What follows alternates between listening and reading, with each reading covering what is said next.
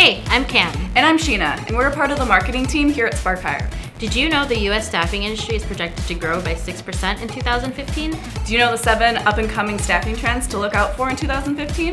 If not, download this year's staffing industry trend report from Spark Hire. It's packed full of information and tips that'll help you stay ahead of the curve. We look forward to your feedback, so let us know what you think and share this report with your friends and colleagues.